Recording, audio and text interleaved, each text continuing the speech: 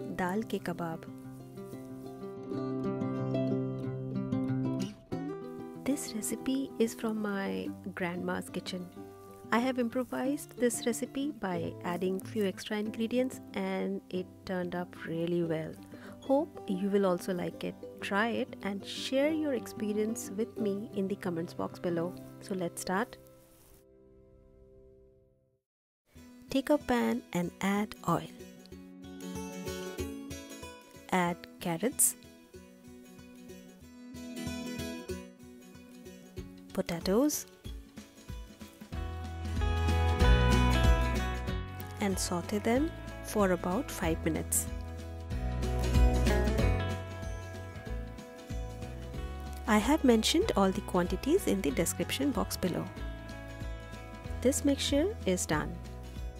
Now take red lentil and soak it for 4 to 5 hours. And now let's strain it. Now take a mixture grinder and add coriander leaves, soaked red lentils, add some almonds. You can also add cashew nut or almond flour red chili powder, garam masala powder and let's grind it.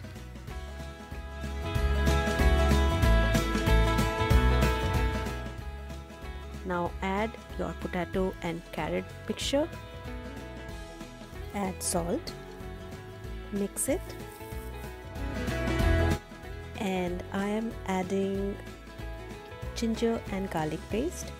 I forgot to add ginger and garlic when I was preparing the mixture.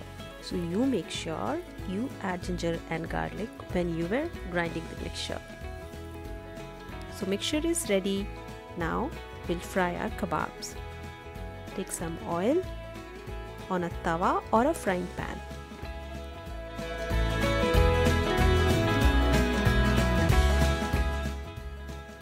Fry both the sides till it become golden brown.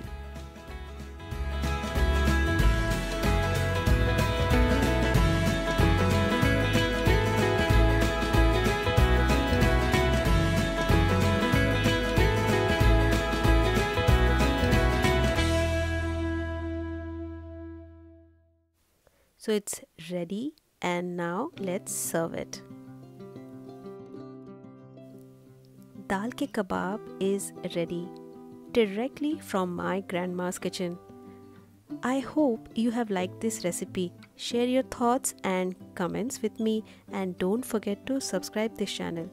Beauty's Kitchen is also available on Facebook and Instagram. Follow Beauty's Kitchen over there for more recipes, updates and food history.